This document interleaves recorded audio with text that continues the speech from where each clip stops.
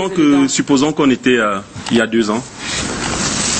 Nathalie, quoi, je t'aime. Est-ce que tu peux, tu veux m'épouser?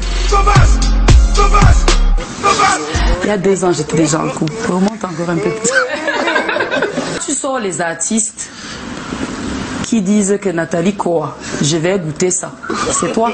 Je dois répéter ce que tu dis? J'ai 34 ans. Et toi? 34 ans. Si je t'appelle petite sœur, ça te dérange? Je suis né en janvier. Non, puisque je suis en février. Alors, petite sœur, dis-moi, je n'ai jamais vendu le piment. Et toi? J'en vends, j'en ai dans ma plantation, je vous l'ai dit tout à l'heure. Il faut voter une loi pour légaliser la prostitution. Tu es pour ou contre? Et pourquoi Il faut que je vous dise à quel point que moi, autant je ne veux pas que les gens rentrent dans ma vie privée, autant je ne rentre pas dans la leur. Nathalie, De tu es fait- députée. non, je ne suis pas députée.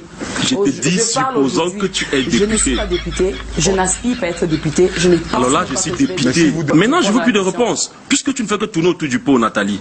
Nathalie, moi, je te dis, tu es aussi responsable de toutes ces filles qui veulent ne le être comme pas. toi, en faisant comme toi. Je Tu es ne le responsable. Nathalie, parce que tous les jours, ne s'il te plaît, tous les jours de ta vie, tu fais là comme si tu n'es pas responsable des photos que tu Je- postes, de tout ce que tu fais, de toute cette trace et paillettes que tu montres aux jeunes pour donner l'impression que voilà. Tu es responsable du fait que les jeunes portent des horribles costumes carrelés partout. Qu'est-ce que tu, qu'est-ce que tu, tu, dirais à ça Donc parce que tu as posté, post- porté ton costume carrelé, si tous les jeunes dans la société commencent à porter le costume carrelé, tu vas dire que tu es responsable de ça Non.